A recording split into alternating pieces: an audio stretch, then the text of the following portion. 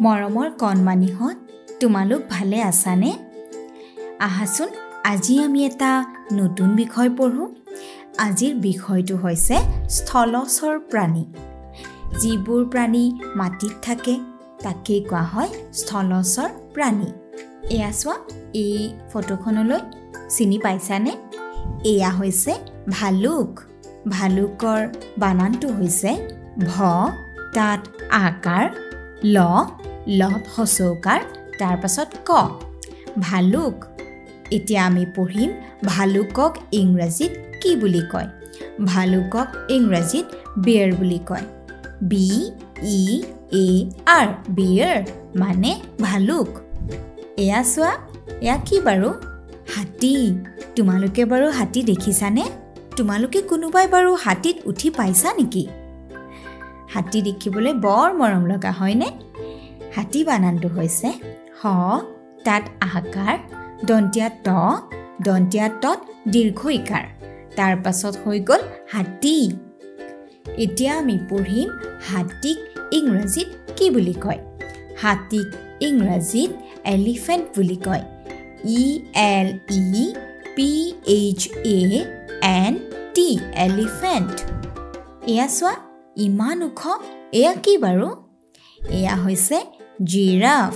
Giraffe বানানটো হৈছে বৰ্গীয়া জ তাত হচৈকাৰ ৰ ৰত আকাৰ আৰু ফ জিৰাফ। জিৰাফক ইংৰাজীত জিৰাফ বুলিয়ে কয়। G I R A F F E giraffe. এয়া চোৱা চিনি পাইছানে? হাবিত যে থাকে এয়া হৈছে সিংহ। সিংহ বৰ ভয় লগা হয়নে? সিংহ বানানটো দন্তীয়া স তাত হচৈকাৰ ঊনৈছৰ আৰু হ সিংহ। সিংহক ইংৰাজীত লায়ন বুলি কয়। L I O' N lion মানে সিংহ। এয়া চোৱা এয়া হৈছে গৰু। গ ৰ ৰত হচৌকাৰ গৰু। গৰুক ইংৰাজীত কাউ বুলি কয়।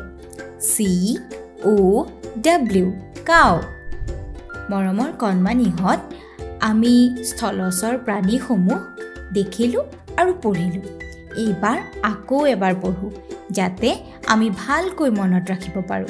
এয়া হৈছে ভালুক হাতী জিৰাফ। সিংহ। গৰু মৰমৰ কণমানিহঁত তোমালোকে নামবোৰ ইংৰাজী আৰু অসমীয়াত বুজি পালা আৰু শিকিব পাৰিলা কিন্তু ইংৰাজীত আৰু ভালদৰে মনত ৰাখিবলৈ আৰু বানান কৰিবলৈ এই ভিডিঅ'টো চোৱা Here comes the bear. So, how do you spell? Okay, B E A R, bear. Next comes the elephant. E. L. E. P. H. A. N. T, elephant. Here comes the giraffe. G. I. R. A. F. F. E. Giraffe. Now comes the lion. L I O N lion. Now comes the cow.